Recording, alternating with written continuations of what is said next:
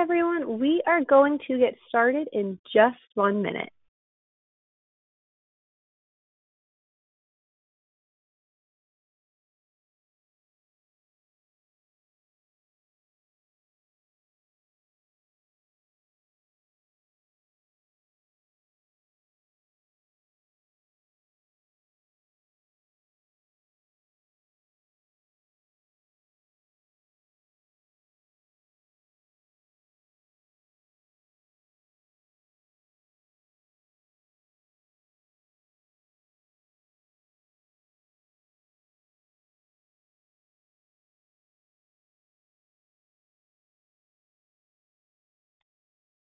Alrighty, I have seven o'clock on the dot, so I will get started. Thank you all for joining me tonight for the Bocce preseason webinar. For those of you who don't know me, my name is Kendall Zeslitz. I am the Special Olympics Maryland Bocce staff liaison. If you have any questions that pop up during tonight's webinar, please feel free to raise your hand um, with a little icon, or you can type a question into the questions pane because it is just me running this webinar tonight, I will be checking for questions once every couple of slides, so please bear with me during those pauses. The session is also being recorded, and I will make sure to send it out bright and early to you guys tomorrow morning so you have it as a point of reference. All right, jumping right in. So, an important reminder, which I know that we share with every presentation that we give, but no athlete or volunteer they participate in any manner in the Special Olympics Maryland program without a valid and current medical form or a volunteer application. This is really just a safety precaution for us, and it includes not just your volunteers, but also your coaches, your assistant coaches, really anyone who comes out and helps out. So, working with your area leadership, this is the best way to stay on top of forms being submitted and everything. So your area leadership should be in regular communication with you. If you have athletes that are registered that are missing a medical, um, just work connect with them and make sure that you are all on top of it. It's for the health and safety of our athletes, which is one of the most important things to us. So the registration deadlines for the 2019 Summer Games, which are right around the corner. So we have our first deadline coming up on April 25th. This is going to be your training registration deadline. So this is when your rosters of all the athletes, unified partners, coaches, and volunteers who are participating in your program needs to be listed into GMS. Most counties have someone who handles the GMS work um, for the entire county. So connect with your area leadership and find out who that individual is and make sure to submit it to them a few days in advance just so it's not on the final day and they have to rush to get it in. Our second deadline that we have is going to be on May 6th. This is the last date for missing forms to be submitted to Special Olympics Maryland headquarters. So all forms for this season need to be valid through the last day of summer games, which is going to be June 9th this year. So all athletes need to have their complete medical forms. All coaches, partners, volunteers have to have their volunteer application and their protected behaviors, concussion certificate, and for head coaches, sports certification. Um, the competition registration date quickly follows after that, and that is going to be on May 16th. That is when everyone who is registered in GMS from your delegation needs to be entered into their event. If they are not in an event, um, say on May 17th, then they are going to be deleted out of summer games and won't be unable to participate the Bocce location for 2019. So I'm sure a lot of you are aware that Towson is doing construction on our soccer field that really turned into a moon bounce last year. Um, so we are currently looking for a new location. We have a few possibilities right now. Um, so once we have those details nailed down, I will make sure to send them out to you so you and your families and your athletes can be as prepared as possible. Bocce entries and entry process. So, to be eligible to compete at summer games, all players have to compete in a minimum of two qualifying competitions. Um, they can compete in singles or doubles at the competition, and that can let them enter into anything at summer games. So if they go to two different competitions and they do doubles at both of those, but they want to do singles and four person teams at summer games, that is totally fine. We can make that happen. Um, we just want to make sure they're getting those two competition opportunities. Also, I encourage all of you to go above and beyond with the amount of competitions that your athletes attend during the season. It really only makes them a better player and it kind of builds team morale and everything if you send them to multiple competitions. If you have any special needs or circumstances, make sure you inform your area's GMS manager so it can be properly recorded in GMS. Also, please have your team's head coach send me a little note, just that way we can make sure all of the officials and everyone at summer games are as prepared as possible. Or if you're attending, say, Arundel Spring Games, I can let them know what your special need or circumstances so everyone is just in the loop and things will flow smoothly. So the events that we have at summer games are singles, doubles, unified doubles, and team and unified team. So you'll notice that team and unified team is asterisk. We are really building on our bocce population, which is fantastic. It's such a great sport and it's awesome to see it grow. Um, but we only have so much space at summer games. It's not an issue for this year or even next year, but we just want to prepare for the future and we want to allow as many people as possible to come out and to compete and really get to experience what summer games is all about. So that is why I'm kind of pushing having team and unified team. I know we always offer it at the state summer games, but no one ever signs up for it. It's really a great way to play bocce. It builds a lot of teamwork and it's really strong in our interscholastic unified sports program through high schools. So if you have any interest in teams or you want to know some more information, please just send me an email or give me a call after the webinar or tomorrow, and I would love to talk to you more about it. At Summer Games this year, athletes are able to enter into two events. They can do singles and they can do doubles or they can do a four person team. If you have a unified partner, they can only do one event, so they can either do unified doubles or unified four person team. All right, so our currently scheduled bocce qualifying competitions, this is actually an increase by two competitions from what we had scheduled this time last year, which is fantastic. So as you can see, we're going to start off bocce season in Washington, Anne Arundel, and Baltimore City, and we have our last one scheduled right now as May 18th. But again, it's in Baltimore City. So what I would really like to challenge every program to do is to host a competition um, this year. It can be as large or as small as you would like it to be. We just really want to enhance the number of opportunities that we have for athletes. Like I said before, it helps them grow as stronger players, and it's just really good to get them out there on the weekends and make sure they really understand the game of bocce. And it's a lot of fun. It provides a great weekend activity. So the more competitions we can have, the merrier. If your county is interested in hosting a competition, please let me know, um, and we can make sure to get it on the schedule. All right, I'm just going to pause really quick to see if I have any hands raised or any questions. Doesn't look like any so far. Great. Um, head coach requirements. So I'm actually going to jump ahead to the next slide. So, oh, actually, John Jackie, I see that you have your hand raised. So I'm going to unmute your line. You should be unmuted, John. Um, I was just going to say Montgomery County will have a qualifier. We just haven't set the format yet. Yeah. Awesome, great. Thanks so much. So once you guys set the date, if you could just let me know, that would be fantastic.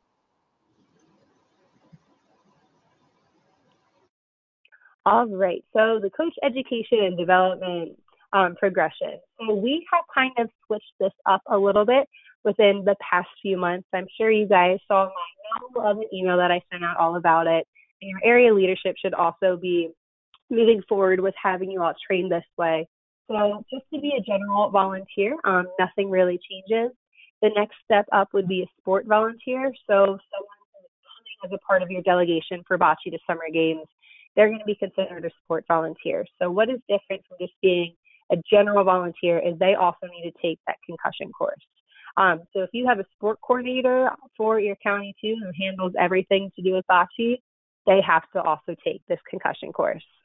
To be an assistant coach, you have to do all the things for sport volunteers, but you also have to take either the coaching Special Olympics athletes general course or the unified specific one, coaching unified sports.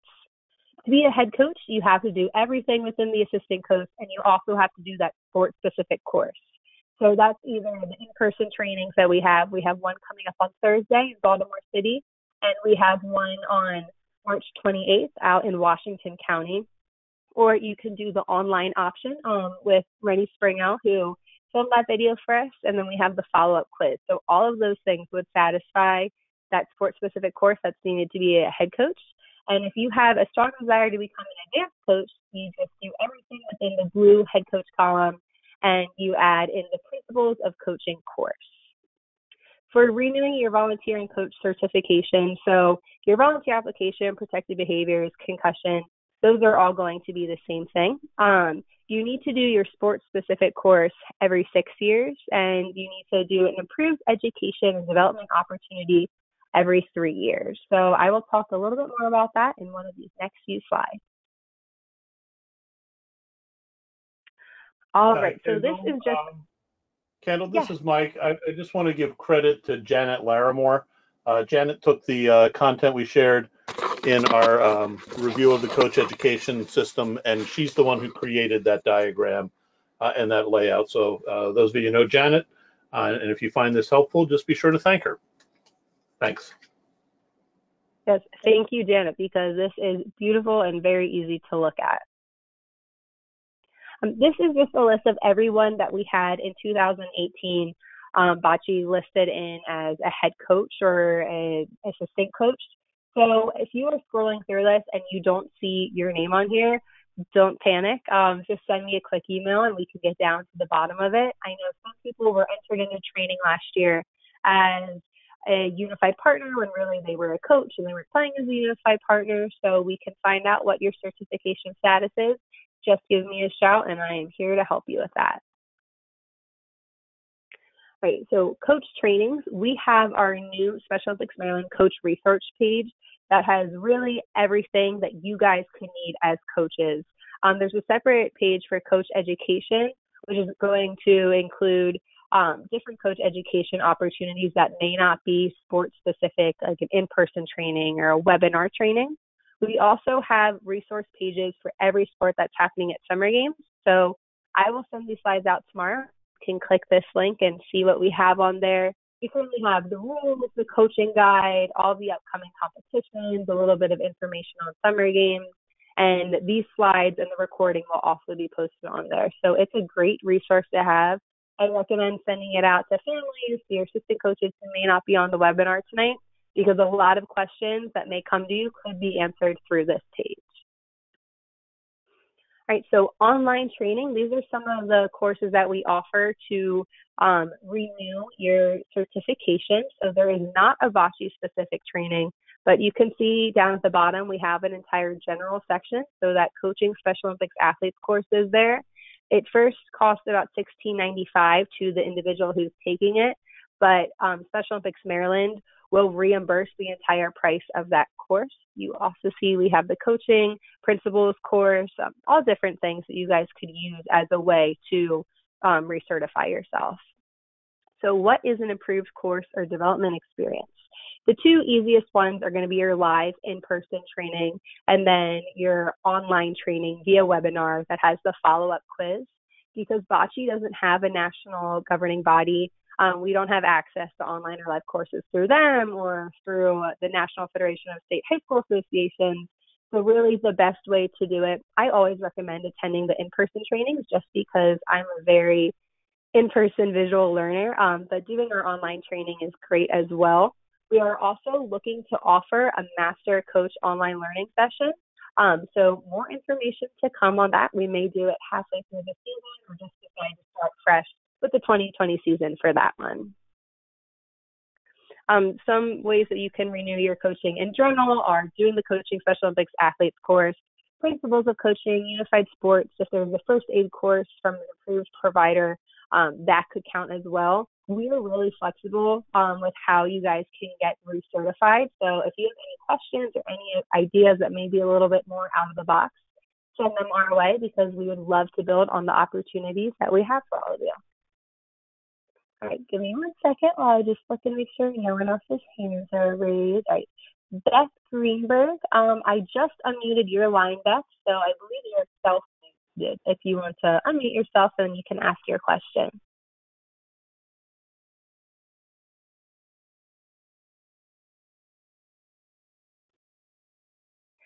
with you. Oh, there we go. There go. I got it. Um, I wanted to coaching the Special Olympic athlete. How often? How long does that certification last?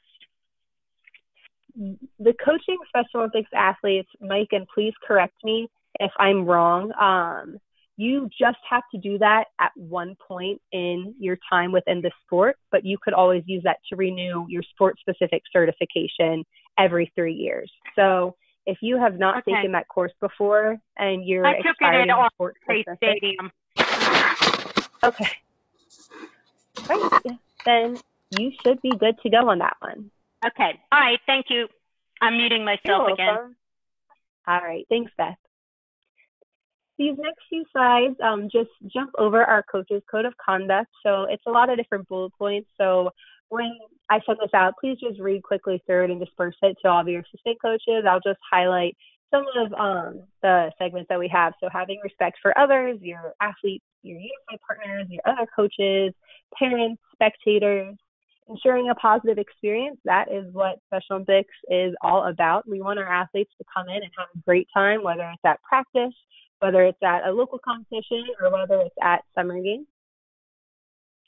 Acting professionally and taking responsibility for my actions. So, this is important in pretty much every aspect in life.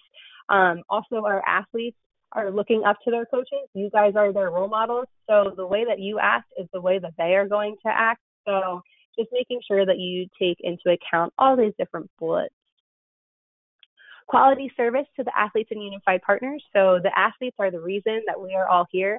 Whether if your child is an athlete or if you have zero connections to Special Olympics Maryland, you just decided you want to coach one day, we are here for the athletes as well as the unified partners. Um, so just really being prepared and having their best interests at heart.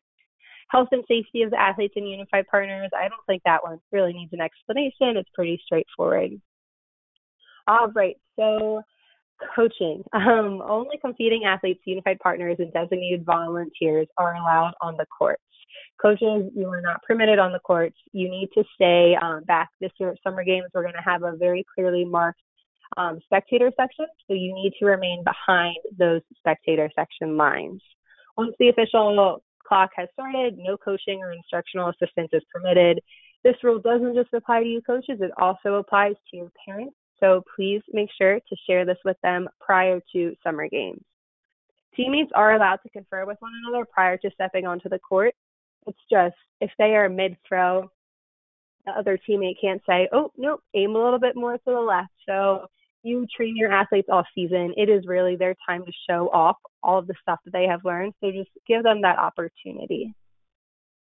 All right. So if no one has a hand raised, I'm going to jump to a supplement that we have that just kind of is a highlight of bocce rules. Um, so we already went over the events that we offer. Um, one thing to highlight is that we do have half court singles. I know we have a few counties who still participate in this. Um, so the half court singles, it's exactly half of the court the athletes are going to throw from where this yellow line is. So it's right at the mid mark, so 30 feet, and they are going to throw towards the end board.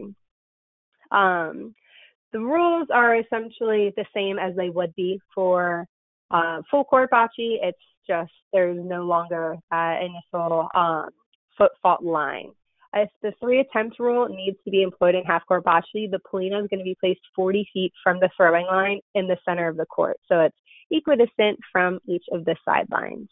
Um, other than that, half court game plays according to the rest of our Special Olympics Maryland rules. For equipment, um, we use the green and red bocce balls, and the pallino will be either yellow or white at your local competitions. If this differs, that is totally fine. But what we utilize at summer games are these colors. Um, another thing that I really want to highlight is the usage of ramps. So I know last year at Summer Games we had the ramp set up as kind of a demonstration for you and your athletes to check out. We really want to push um, using ramps over the lighter weight balls, um, just because the lighter weight balls are considered a competitive disadvantage because of the density of regulation balls. Athletes who historically using lighter weight balls in the past are still able to do so, or if you have a new athlete who comes on board who really can't play bocce without it, that is fine. Just make sure that you let me know so we can have it approved um, come summer games time.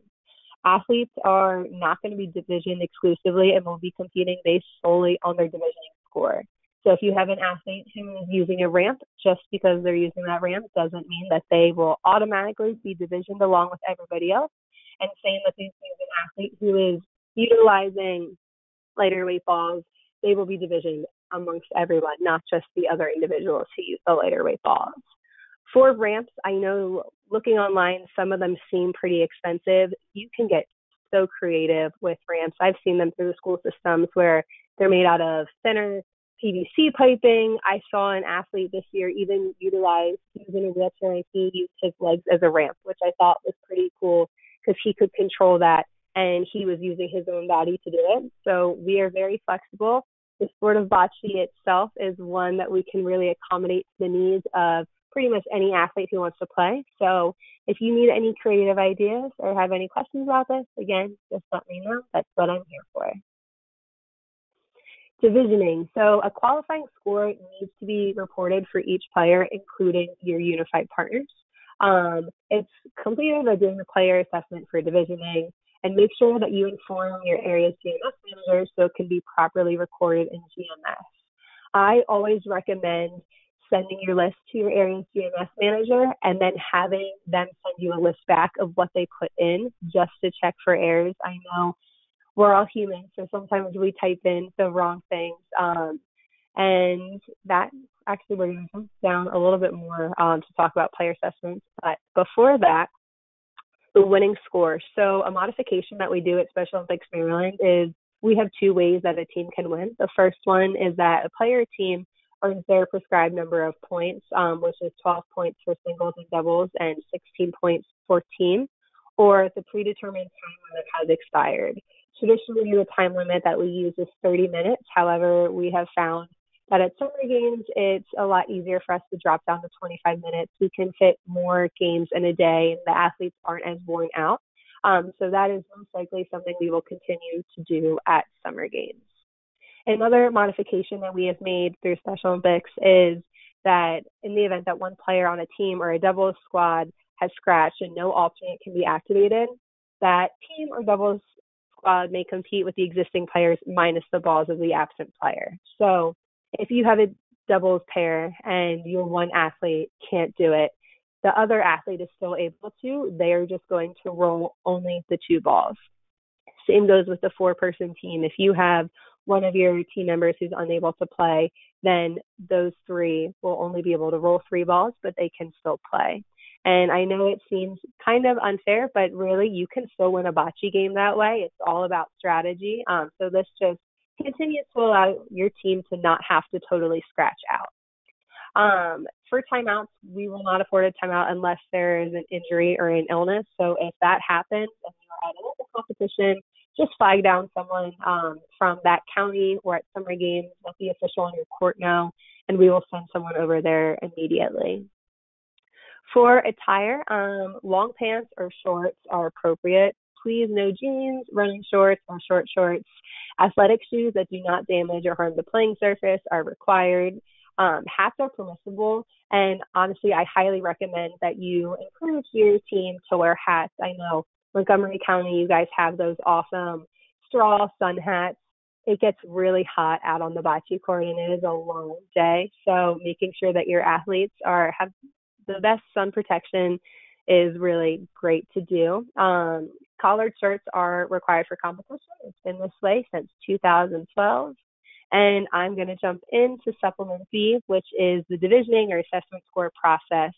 Um, for any new coaches or any returning coaches who may be a little bit unsure about this process, I will be sending this out in addition to the slides and the link to the recording. On that way, you have it for once your season starts and you're beginning to do assessments. You can just utilize this sheet. Um, I also recommend doing it in an Excel document. Rennie Springle last year sent out uh, an Excel sheet that he has used for his team. Um, so if anyone is interested in seeing that as reference, please just let me know and I can most definitely share it with you. So for the assessment score process, your player is going to roll or toss all eight bocce balls to three different spots. So at the 30 foot line, the 40 foot line, and the 50 foot line. Um, all of your distances need to be entered into inches only. Um, and if it's a fraction of an inch, just round up to the nearest inch. So the individual who's getting assessed, it's going to start with the pallino placed on the 30 foot line, always in the center. They're going to roll all eight of their balls, and the three closest balls to the pallino are going to be measured. Um, same goes from the 40 foot line and on the 50 foot line. Here's just a diagram that shows exactly where they're going to be throwing from to spot one, spot two, and spot three. So their final measurement is going to be the total of all nine measurements. That is what you're going to submit to the area GMS leader that you have.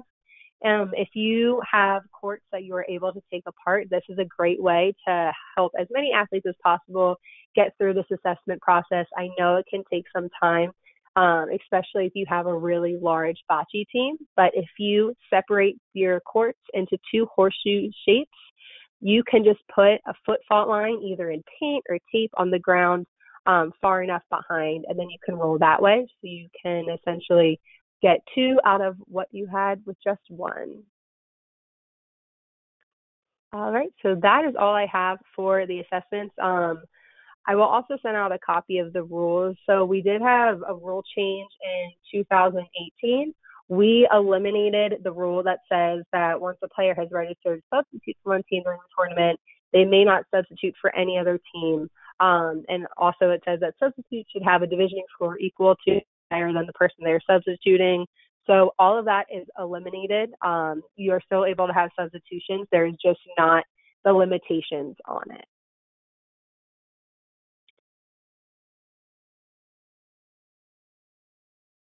All right, my PowerPoint. Oh, there we go. All right, so additional resources. So again, check out our coaches resource page. It's really a great thing. It has the rules, coaching guides, um, different videos, everything that you could really need for your bocce season. And if there is something that you think should be included on this and you're not sure why it isn't, please let me know. We're trying to make these sites as useful for you guys as possible. Um, so the more that we can add to it, the better. If you have questions on any of the other summer game sports, um, these are the people that you will contact. So Zach Centron is in charge of swimming. I am not just in charge of bocce this year, I'm also in charge of athletics. So if you have any athletics questions pop up, I'm your girl. If you have questions on softball or cheerleading, you'll contact Melissa Anger, and then Steve Bennett is the general operations of summer games. So I know we moved through the material pretty quickly tonight. Um, I just wanted to make sure that I was conscious of the time that you guys are taking up on this Tuesday evening. The last 10 to 15 slides are just the reference slides of registration forms and procedures. Um, I never feel the need to really go over them in depth. You can skim through. It just shows you what our medical and application for participation looks like, as well as some volunteer forms and all that fun stuff. Um, so I will open up the floor to any questions that we may have. You can either raise your hand or type a question into the question box if you have any that you can think of.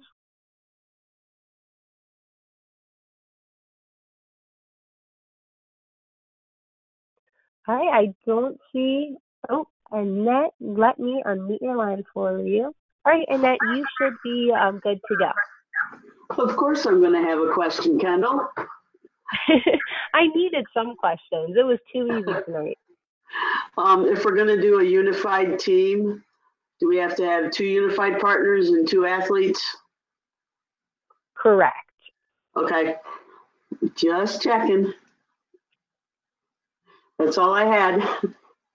All right, thanks, Annette. Does anybody yeah. else have any questions? Oh, um, from Frederick. So you actually haven't typed in your PIN, so I'm unable to mute unmute your line. If you want to type your question into the questions pane, um, you can do that, or you can always just email me it after. That is fine too. Um, in the meantime, Steve Bennett, I saw that your hand is raised, so your line is unmuted, Steve. Thank you, Kendall. Um, Mike, I just wanted to give you a reminder in re- in regards to the medical forms. If you wanted to stress the importance of using the updated medical form, as I know we have had um, some individual uh, uh, older medical forms submitted. So, Mike, I don't know if you're hearing that or not. Um, sure. Yes, I'd like to stress that you use the updated medical form. since we've had some medicals submitted that are the old version. Um, in all seriousness, we can only accept the medical form that looks like this. Um, we have recently gotten some of the older ones uh, that were, I think, two or three pages and such. If you send them in, your athlete can't participate. Sorry, it's only this form um, as the core. Uh, there, there's changes in it that are that are essential. Similarly, for the volunteer application, um, there's a new uh, version of that. It's it's two pages. There's a single waiver uh, signature that they need to they need to provide. That again, also we can't take the old form. Uh, we can only accept this new form um, uh, for uh, for the waivers and or for the um, uh, applications. That said, if someone has one of the older forms already on file and it's still valid through summer games, that's fine. You don't need to replace it. It's in terms of things that uh, forms that we're taking um, uh, or, or accepting uh, going forward. And this change was back in uh, occurred back in 16, 2016. So you should all be uh, uh, and your area should all be on board with that. Just these these old forms seem to pop up out of the blue, and unfortunately, we cannot, absolutely cannot accept them. Thanks. Awesome. Thank you, Mike and Steve. And Rennie, I believe your hand is raised, so I just unmuted your line. You are self muted, so if you unmute your computer, you will be able to speak to the group.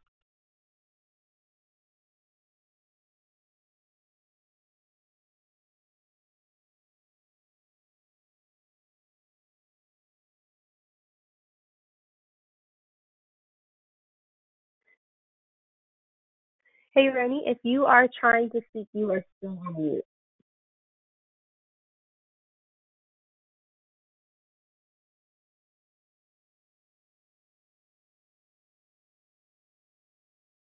All right, last call for any questions, comments, concerns about the 2019 bocce season. I'm really excited about this one. I think it's going to be our best bocce season yet. I know we have Harford and Lower Shore coming back this year, which is fantastic. I'm really excited for that.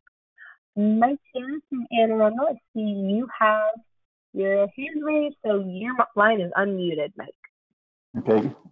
Uh, just a question on the uh, 30 or the half court bocce.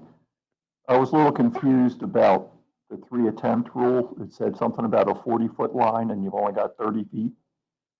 Are you, does that mean 10 feet from the, the foul line? Yes. Yep.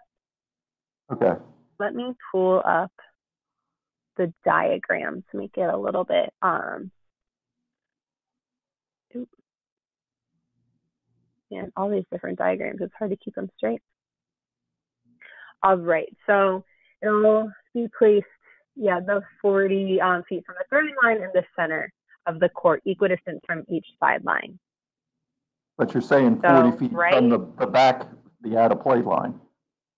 Yes, or 40 feet from the end line. Okay. Yeah, we, we might not have any, but I just wanted to understand what that rule was about the three three attempt rule. Thank you. Oh, definitely. Yeah, I know we only have a few athletes, but and if mm-hmm. anyone has any further questions on either half court bocce or ramps, um, just because I know that they aren't what we always use, um, just send me an email and I can address all of your questions. Anybody else have a question at this time? If not, I will end tonight's webinar. Um, like I said, I'll make sure to send out all this information to you guys tomorrow. Thank you so much for taking the time out of your busy Tuesday evening, and I look forward to seeing you all at the first conference. Have a great night.